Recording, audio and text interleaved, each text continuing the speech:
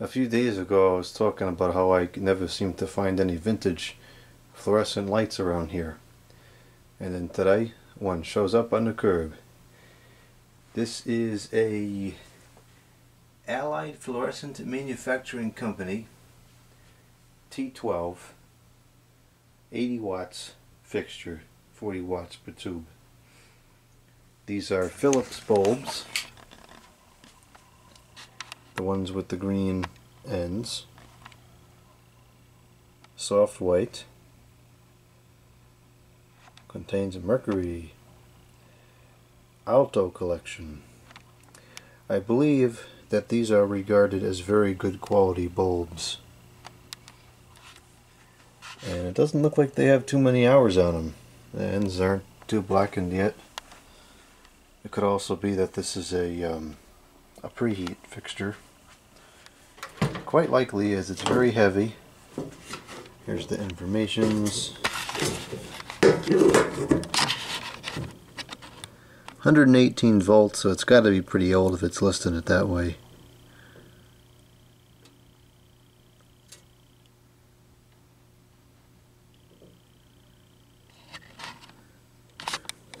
I'm not too familiar with the brand, but I'm also not an expert in fluorescent lights because I don't have that many.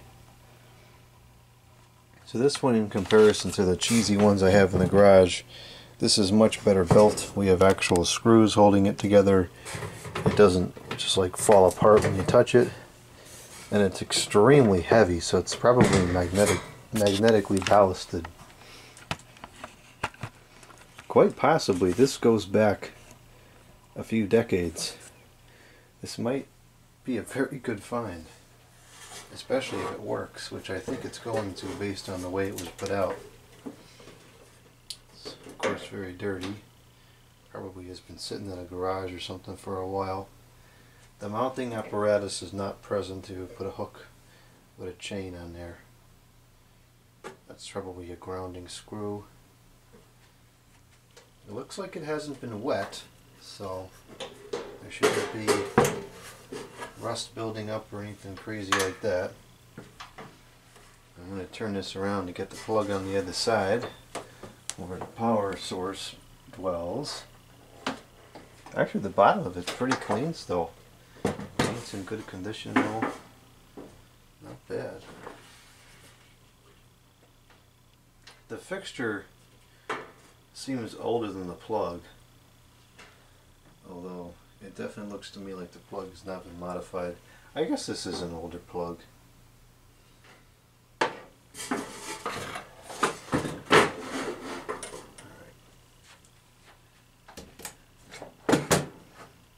We are testing with 117 the volts. The uh, clothes dryer is on and the garage heater could potentially be running so the voltage is a little bit low. Let's plug this thing in and see what happens. Oh gosh, the flicker, holy mackerel. It appears to be a rapid start fixture.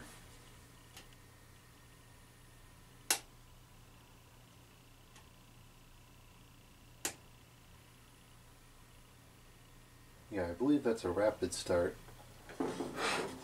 As far as the power information goes, we have 0.85 amps, 95 the watts, with a power factor of 0.95.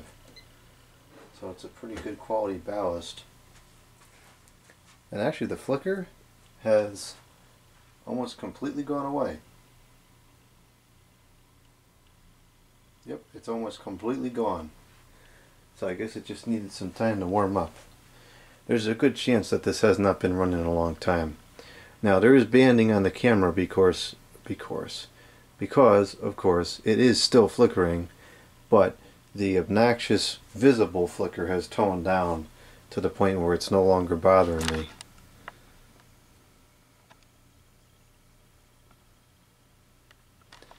So the camera has a refresh rate of 59.94 frames per second so that's why the, the banding slowly scrolls up because the refresh rate of the light fixture is 60 frames. The light fixture does not have frames. 60 cycles per second, so 60 hertz power, AC power. So it's 60 versus 59.94. It does have some hum to it. It's extremely bright. I'll turn off the lights in the room here and you'll see that it makes little difference.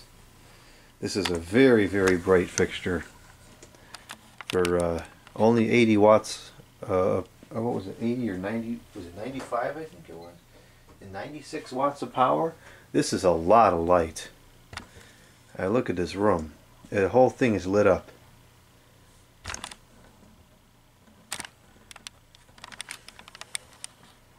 Very, very bright fixture. It's almost blinding to look at. Yeah, that is that is really bright. Power factor has gone up to 0.98. That's a very good ballast with a very good light output. That is extremely bright.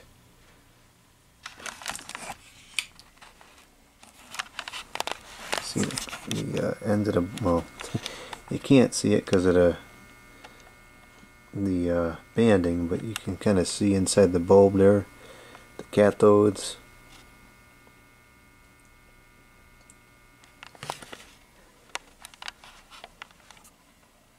And despite all the banding on the camera, it's not unpleasant in person at all. It's it's pretty reasonable uh, quality of light. It's not bad.